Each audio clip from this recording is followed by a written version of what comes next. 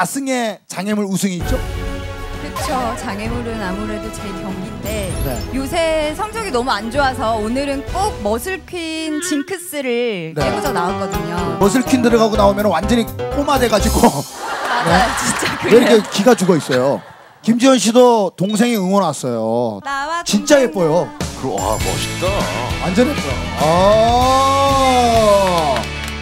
야 동생분. 네 언니 자랑 좀 한번 해줘보세요. 마이크 좀 가까이 대주세요. 할게 없죠. 알겠습니다. 할게 없군요. 어떻게 아직 준비 안 했어요. 그럼 뭐 응원은 준비하셨나요? 몸에서 나오는 대로 이렇게 몸에 맡기겠습니다. 아 그렇습니까? 음악 좀 줘보세요. 네. The beat.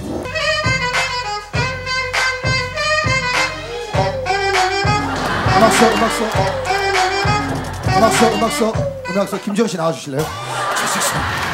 아, 아, 아, 안 됩니다. 저 죄송합니다. 저기 저 저는 또 동생 거만 보고 싶거든요. 저. 아 나 진짜 확 기분 상해. 어머 갑자기 나와가지고 막 이러는 거야. 아, 네. 저 동생 거 보고 싶어요. 저 음악 좀 주시겠습니까? 네, 갑니다. 컴온.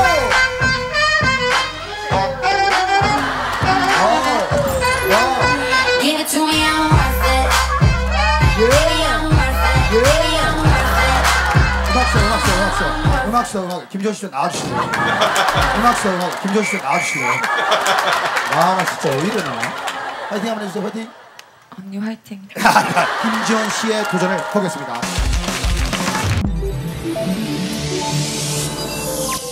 KBS